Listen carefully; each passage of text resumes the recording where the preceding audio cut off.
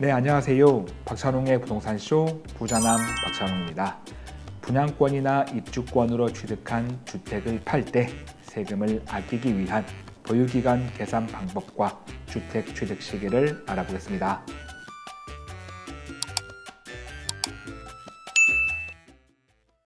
이번 시간은 주택을 팔 때 보유기간 계산 방법에 대해서 알아보겠습니다. 표로 설명드릴 텐데요. 만약 분양권을 취득해서 그 분양권이 새로운 집이 되고 그 집을 나중에 양도한다면 그 주택을 취득한 날 일반적으로는 잔금 청산일자인데 이때부터 양도할 때까지 그 기간이 보유 기간이고요. 만약 조합원 입주권을 취득했다면 입주권 취득이니까 이건 원 조합원이 아닌 승계 조합원인 경우이겠죠.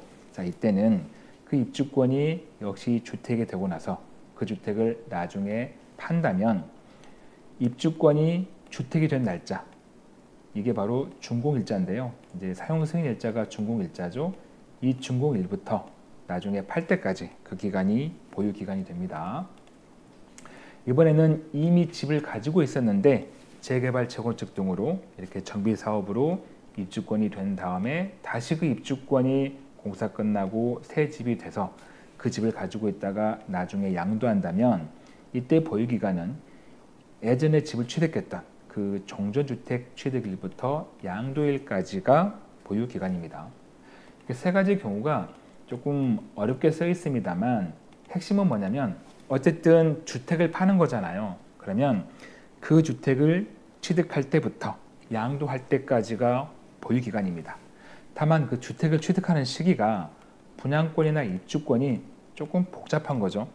왜냐하면 처음 취득할 때는 주택이 아닌 권리였으니까 그래서 그 권리가 새로운 집으로 완성된 날짜 이때가 바로 주택을 취득하는 시기인데 그 시기를 우리는 잘 알고 있어야 된다는 거죠.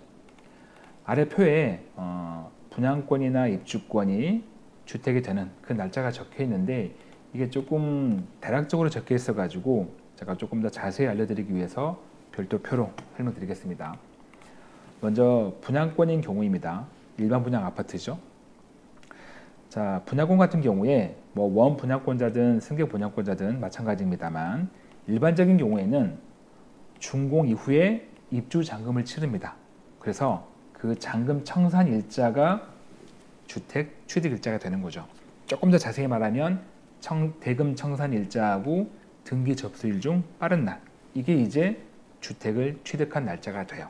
그런데 아주 가끔 준공 전에 잔금을 치르거나 아직 아파트가 되기 전에 잔금 치르거나 아니면 잔금 치를 때까지 아직 주택이 완성되지 않았다면 이때 주택 취득 일자는 이미 잔금 치렀으니까 이때는 사용 승인서 교부일 또는 임시 사용 승인일 아니면 사실상 사용일 입주일인데 이 셋 중에서 가장 빠른 날짜가 주택을 취득한 날짜가 됩니다.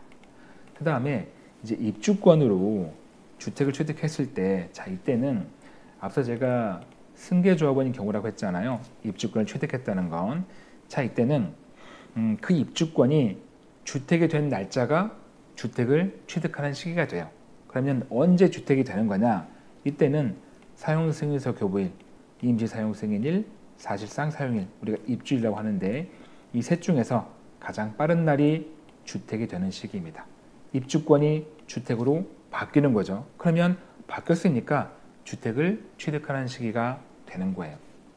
다만 이제 원조합원은 이미 주택을 가지고 있었으니까 이분들은 이제 원래 그 주택을 취득했던 그때가 주택을 취득한 날짜가 되는 거고요. 자 그러면 다시 한번 정리해 보면 분양권인 경우에 분양권 취득해서 공사 들어가고 공사 끝난 다음에 새 아파트가 됐다면 보통의 경우에 예, 그 잔금 청산일 그리고 등기 접수일 중 빠른 날짜가 되는 거고요. 만약에 아직 어, 잔금 치를 때까지 주택이 완성되지 않았다면 그 아파트의 완성 일자 네, 보통 사용 승인서 교부일인데 근데 이제 뭐 아까 임시 사용 승인일 사실상 사용일 셋 중에 빠른 날짜고요. 입주권 취득해가지고 공사 들어가고 공사 끝나서 새 집이 지어지고 그 다음에 그 집 팔았다면 입주권은 그 입주권이 주택이 된 날짜 그거는 준공일자더라. 예, 주택이 완성된 날짜. 근데 그게 사용 승인서 교부일, 사실상 사용일 또는 임시 사용 승인일 중 빠른 날짜가 주택이 된 날짜고 그때 주택을 취득한 거고 그때부터 양도일까지가 보유 기간이구나 라고 생각하시면 되고 원조합원은 쉽죠. 원래 집을 취득했던 과거에 그 주택을 취득한 날이 바로 주택을 취득한 날짜입니다. 왜냐하면 이 집은 없어지고 새 집이 지어졌지만 이 새 집은 기존 주택의 연장으로 봐가지고 취득일자를 과거에 샀던 그 집의 취득일자로 보는 겁니다. 자 이렇게 어, 보유 기간을 어, 계산했다면 이제 얼마나 가지고 있었느냐 그 기간에 따라서 세율 적용이 다른 거죠. 자 일반적인 주택의 경우에는 1년 미만 가지고 있다 팔았다면 양도세율이 70%가 되는 거고 1년 이상 2년 미만 가지고 있다가 팔았다면 양도세율이 60% 2년 이상 가지고 있다 판다면 기본 세율입니다. 물론 비과세 요건을 충족했다면 비과세가 되겠죠. 과세일 경우에 그런 거고 그 다음에 입주권의 경우에는 1년 미만 가지고 있다가 팔면 양도세가 70%그 다음에 1년 이상 2년 미만 가지고 있다가 팔면 60% 2년 이상 보유하면 주택처럼 기본 세율 적용을 받습니다. 그런데 분양권은 조금 특이하죠. 1년 미만 가지고 있다 팔면 70% 똑같고요. 그 다음에 1년 이상 2년 미만 역시 60% 똑같습니다. 그런데 분양권은 2년 이상 가지고 있다 팔아도 60%예요. 기본 세율이 아닙니다. 되게 세게 세금을 내는 거죠. 많이 내는 겁니다. 이제 그 밖에 그 외 뭐 토지 건물 이런 것들은 1년 미만 가지고 있으면 50%, 1년 이상 2년 미만은 40%, 2년 이상은 역시 기본 세율입니다. 어, 제가 빨간색으로 표시했던 이 분양권 이걸 한번 이제 분양 받아가지고 공사하고 새집이 돼서 나중에 팔 때까지 그 세율을 한번 보면 자 분양권을 취득했습니다. 이 분양권을 주택이 되기 전에 만약 팔았다면 1년 미만 가지고 있다 팔면 70% 1년 이상 가지고 있다가 팔면 60% 왜냐하면 이거는 기본 세율이 없으니까 1년 예, 이상이면 60%입니다. 그런데 그 분양권을 팔지 않고 주택이 될 때까지 가지고 있었습니다. 그래서 주택이 됐어요. 주택이 되고 나서는 그때는 이제 주택으로 보겠죠. 그러면 1년 미만 가지고 있다 팔면 70%, 1년 이상 2년 미만은 60%, 2년 이상은 기본 세율 적용을 받는다라고 보시면 됩니다. 분양권이 주택으로 바뀌었으니까 이렇게 간다는 거죠. 참고로 기본 세율은 초과 누진 세율입니다. 그래서 이제 과세 표준에 따라서 6%에서 45% 세율 적용받고요. 누진 공제도 있습니다. 참고하시기 바라고. 자, 이게 왜 중요하냐면 이 보유기간 이걸 잘못 계산하면 네, 세금 차이가 어마어마하게 납니다. 그 사례가 한번 나와 있는데요. 자, 지금 보시면 분양권으로 취득한 신축주택을 양도하면서 세율을 잘못 적용한 사례입니다. 이게 이제 국세청에 올라온 사례인데 자, 이 사례자가 2003년 5월 달에 A주택을 취득했습니다. 그리고 나서 21년 8월 달에 B분양권을 취득했네요. 이때 분양가는 5억이었습니다. 그리고 23년 3월 달에 이 분양권이 이제 공사 들어가고 공사 다 끝나가지고 신축 주택을 취득했습니다. 잔금 청산했네요. 그러면 이 분양권이 주택이 된 시점 바로 잔금 청산일자죠. 이때 이제 주택을 취득한 시기인 거니까. 자 그리고 나서 이 사례자가 24년 2월 달에 이 비주택을 양도했습니다. 8억에. 근데 문제는 뭐냐면 이 사례자가 이 주택의 보유기간 이걸 계산할 때 어차피 비과세는 안 돼요. A주택이 있으니까 과세가 되는데 그 보유기간을 본인이 처음 분양권 취득했던 21년 8월부터 24년 2월까지 이렇게 하다 보니까 어? 2년 이상이 됐네. 주택으로서. 그러니까 기본 세율일 거야. 그래서 한 9,300만 원 나올 거야. 양도세가 라고 생각했는데 예, 그렇지가 않죠 실제로 이 분양권이 주택이 된 시점은 23년 3월 달이니까 이때부터면 2년이 안 됐죠. 심지어 1년도 안 됐어요. 자, 1년 미만이면 몇 프로죠?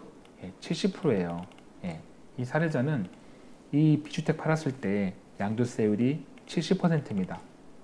23년 3월부터 24년 2월까지 1년 미만 가지고 있었으니까. 그래서 양도세가 2억 800만 원이 나와요. 그럼 거의 1억 이상 예, 늘어난 거잖아요. 예, 그래서 어, 세금 폭탄을 맞게 됩니다. 이렇게 어, 주택의 보유 기간 굉장히 중요하고 그래서 분양권의 입주권을 취득하신 분들은 실제로 내가 언제부터 주택이 되는지 그 주택 취득 시기를 잘 따져보고 그때부터 보유 기간을 잘 계산해야 됩니다. 자 그럼 이분은 왜 이거를 이렇게 분명 분양권인데 주택으로 봐가지고 어, 나는 2년 넘었구나 이렇게 생각했을까? 그 이유가 있겠죠.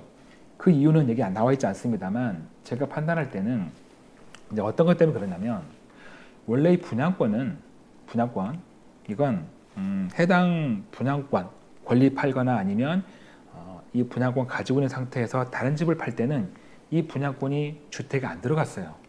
주택으로 안 보다가 언제부터 주택으로 봤냐면 2021년 1월 1일 이후부터는 분양권을 취득하면 이 분양권은 분양권 외에 다른 집을 팔 때 이 분양권을 주택으로 봐요.